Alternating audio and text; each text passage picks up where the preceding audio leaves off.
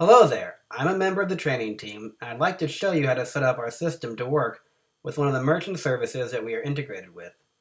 To reach a configuration page, I'm going to click on Configuration, then Third Party Services, then Merchant Configuration. Select the merchant vendor that you have signed up with from the drop-down labeled Merchant. Enter your ID and key in the respective fields. Be sure to check that an extra space wasn't added in the front or back of the code if you copy and pasted the code. The date start field is only needed if you do not want to start transferring payments in the merchant vendor immediately. The date here would be the date you wish to start the transfers. You will see a list of all your users in the space below. Select a login that should have access and enter the appropriate clerk key in the right-hand column.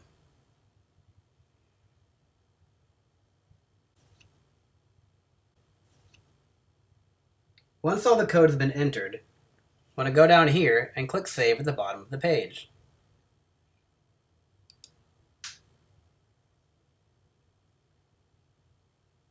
Now let's see how to verify your connection to the merchant service.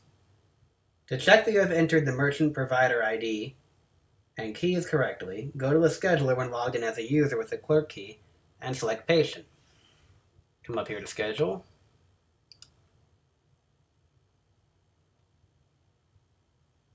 and then select a patient.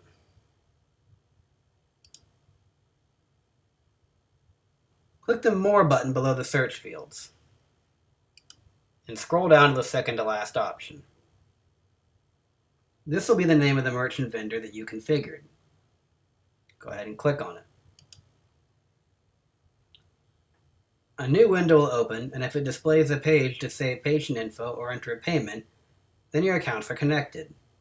This screen will look different based upon the vendor that you have chosen. Now, entering in payments will also differ based upon which of the three merchant services companies that you have chosen to use. You should consult with their help pages and support team to learn how to use their system.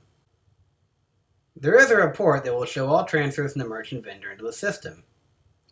You can access it by going to Reports, up here, then Reconciliation, and then Merchant Transfers.